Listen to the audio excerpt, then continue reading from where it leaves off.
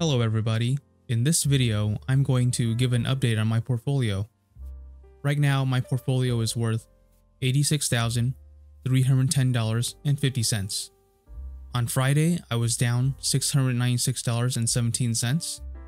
And then after hours, I am up $125.21. Let's go over my positions.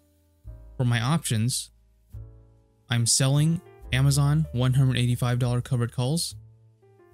These expire on 419. My total return $108. I'm selling Disney $120 covered calls. These expire on 419. My total return $15. I'm selling Google $145 covered call. This expires 419. My total return, I am down $626. I'm selling LUV $30 covered calls. These expire 419. My total return, $45. I'm selling PayPal $60 covered calls.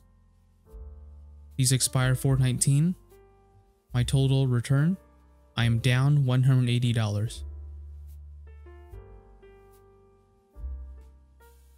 I'm selling SoFi $9 covered calls. These expire 419. My total return $1,080.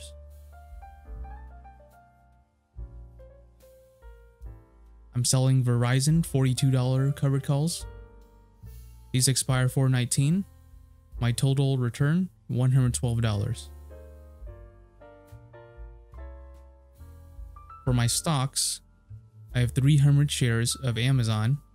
Amazon is at $179.11. My average cost, $98.95.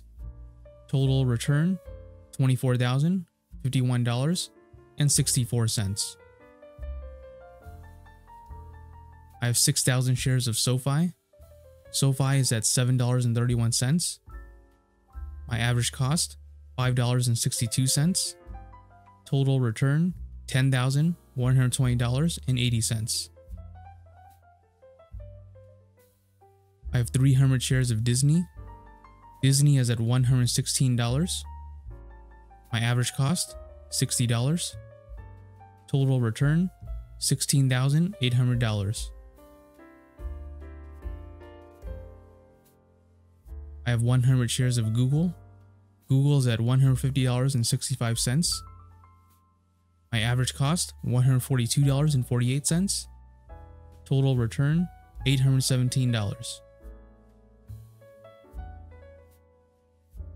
I have 500 shares of LUV. LUV is at $28.45. My average cost, $28.03.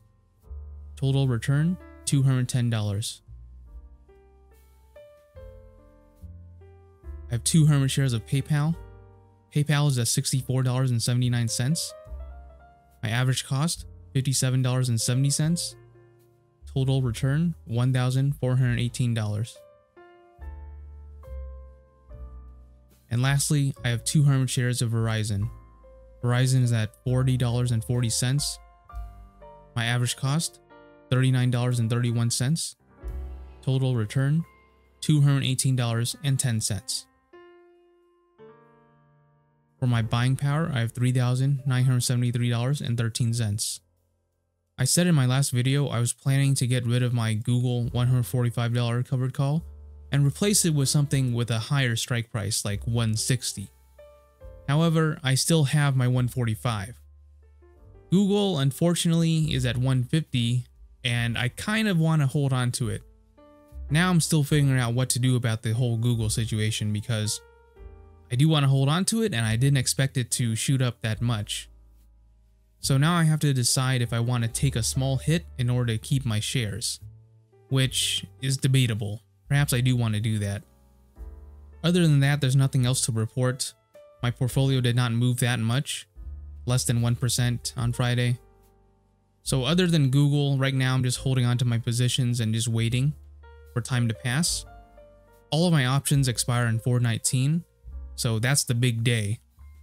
When all these expire, then I have to figure out what I'm going to do at that point. But until then, I'm just sitting and waiting. That's it for this portfolio update.